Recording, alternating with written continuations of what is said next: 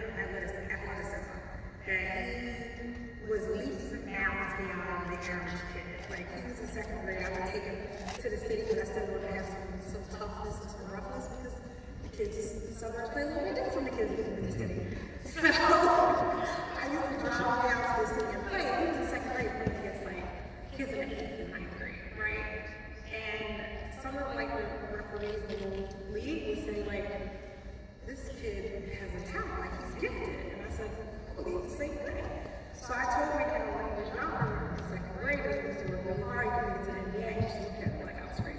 And I was saying this throughout school, and um, Coach uh, Mary Brown, is that, I think that's who I saw. Yes, so it was Mary.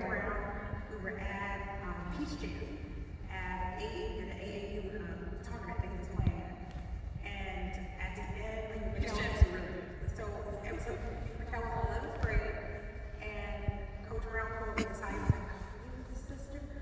I said, "No, it's not. This happens all the time. It's fine." I said, "No, it's not." He said, that kid right there, that kid's gonna be in the NBA one day.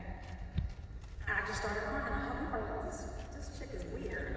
Because I started crying. I hugged him really tight. I said, babe, I've been saying this for a very long time. I said, you have to tell me. He has the, the, the body of an NBA player. He has the athleticism of an NBA player. And ever since then, I was like, I feel good. I felt validated. And I told Mikal, rolled his eyes like, well, I was like, okay. But I don't know, Mikal, what did you, I'm sorry, I want to take over your interview. What did you think? What did you think? Um, I mean, a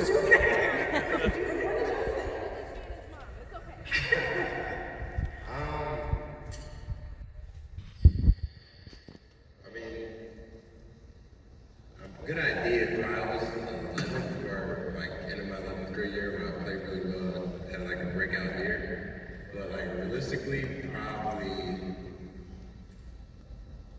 my after my second year in college. So I redshirted my first year, and then my second year was my first year playing, and um, that's when we won a national championship. I came off the bench and stuff, and um, that kind of was like one of the things right there. Like after the season was, it was kind of a little bit hype, talking about like, oh, they have a, kid in the future that will make NBA one